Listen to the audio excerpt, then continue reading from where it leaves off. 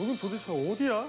이 저승사자 버스가 도착할 때가 됐는데 언제쯤 오실라나? 슬퍼마라. 어, 친구들 많다. 어, 어, 뭐 사인해드려요? 어머 어머 어머. 아. 환생 훈련을 통해서 단련한 귀신만이 험난한 환생기를 헤쳐나갈 수 있다고. 아, 야, 어? 이거 봐. 왜 피가 묻어 있어?